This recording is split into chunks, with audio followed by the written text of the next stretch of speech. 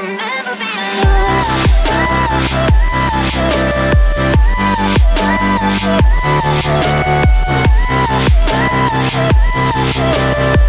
bueno, bueno, no. Estamos un día más a hacer un vídeo de preguntas y respuestas.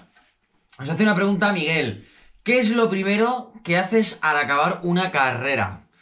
Vale, esto es algo que me ha preguntado muchísima gente, ya lo he dicho varias veces, pero igual mm, estaría bien que, diese una versión diferente. Vale, eh, lo primero, eh, es muy abstracto decir acabar una carrera, porque no es lo mismo terminar un 10.000 de asfalto que un 10.000 de montaña, que una maratón, o que un ultra, o que un ultraman, o que un Ironman, o, o que un... Claro, entonces ahí habría que especificar, pero bueno, digamos que Miguel se refiriese más al tema de larga distancia, o sea, ¿qué haces al acabar, por ejemplo, un ultra trail de más de 100 kilómetros? ¿Eh? Pues bueno, eh, estamos hablando de carreras donde sobrepasan las 12 horas normalmente, eh, a no ser que seáis Kilian, pero normalmente sobrepasan las 12 horas. Entonces, estamos hablando de una carrera en la que hay muchísimo impacto, en la que hay muchísimo desgaste, no solo mental como físico. Eh, entonces hay varias cosas. Al terminar justamente la carrera, dependiendo de cómo haya sido la carrera, si ha sido una carrera en la que he podido alimentarme bien, en la que no he tenido demasiados problemas a nivel de alimentación, entonces llego, entre comillas, fuerte, pero solo petado de patas, o si vengo con una lesión porque me he hecho medio daño y he tenido que aguantar, o no me ha entrado la comida y he tenido que tirar de geles, o bueno, hay, hay muchos factores, pero bueno, digamos que lo primero que suelo hacer de, de media, de normal, es tomarme, siempre tengo un, en, como en la, en la bolsa vida, como cuando termino, siempre tengo un recovery, que normalmente es eh, proteínas e hidratos de carbono, normalmente es un 70-30, se- eh, 60-40, depende. Eh, y lo primero que hago es meterme un recovery. Tenga hambre, no tenga hambre, eso es lo primero que entra. ¿Vale? Porque ya sabéis que cuando terminamos, y más algo, una brutalidad de estas, de estas, tenemos una ventana anabólica. Pensar que aunque vayamos comiendo, en carrera eh, hemos pasado muchísimas horas sin, sin comer sólido de verdad y sin meter nuestras comidas habituales, ¿vale? Entonces hemos perdido bastante peso nuevamente. Eh, entonces, lo primero que hago, recovery. Ya sabéis que tenemos de una a dos horas esa ventana eh, anabólica. Metabólica, perdón. ¿Qué hago luego? Pues dependiendo del hambre que tenga, entre hora y media, dos horas a tres, comer. Súper importante, intentar comer sólido, que no se entra arroz, pasta y cosas así, pues bueno, fruta, tirar de fruta, porque al final ya sabéis que eh, la fructosa es muy buena, es, el azúcar de la fruta y, nos entra muy bien y nos hace recuperar. Luego, segundo dato muy importante, yo lo que hago es beber muchísima agua cuando termino, porque al final hay que. Has oxidado mucho el cuerpo y hay que meterle, hay que meterle líquido. Eh, también cuando termino, depende de cómo termine. Eh, suelo andar suave 10-15 minutos. Luego, cuando, si por ejemplo termino a la hora de comer, pues luego por la tarde noche intento caminar 15-20 minutos. O si tengo la posibilidad de estar en casa o de poder coger la bici, pues hago 15-20 minutos muy, muy suaves. Simplemente para que no, no, te- no esté tan acartonado y, y vaya mm, medio Walking Dead por, por la calle. ¿Eh? Y para quitar esa. para que no retenga, no retener tantos líquidos, vaya. Eh, ¿Qué suelo hacer también? Pues eh, también suelo ponerme las medias compresivas para dormir. eh, para intentar, pues eso, que la circulación sanguínea, pues, intente estar activa.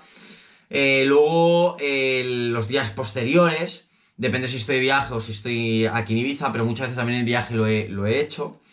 El tema de, uno, el Compex, o sea, ponerme el Compex hora y media, dos horas, si, si tengo tiempo y puedo. También lo que hago es eh, intentar, eh, no el mismo día ni el día después, pero a partir de dos o tres días, empezar a estirar bastante bien, bastante fuerte. Eh, el primer día cuando llego es mejor no estirar, pero días posteriores sí que me gusta estirar bastante. Lo que hago, que es para mí es salvavidas, es el spa o crioterapia, como se le llama, o sea, cambios de calor a frío. De hecho, dependiendo a la hora que llegue y si no pilla mucho frío y eso, el mismo día cuando termino la carrera y me voy a la ducha, me intento hacer, si tengo bañera, un baño de frío y luego caliente, casi hirviendo el agua. O si solo hay ducha, pues pasarme la ducha frío y caliente, pero frío, frío y caliente, caliente. O sea, que, que te congelas y que te quemas. Y eso, eso se nota muchísimo porque activa muchísimo la circulación sanguínea.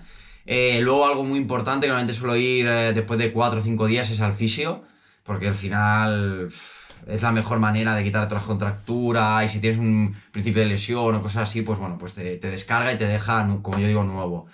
Eh, está claro que una de las cosas más importantes al terminar una carrera de este tipo es la alimentación, como ya os decía, así que es muy importante el tema de ir comiendo bien, eh, comer bastante, o sea, si además hemos eh, hecho bien los deberes y hemos sido un poquito más ligeritos y nos hemos quitado el comer ciertas cosas, pues aquí podemos comernos más una pizza, eh, paella y cosas un poquito más eh, que salgan un poquito de la dieta que solemos tener.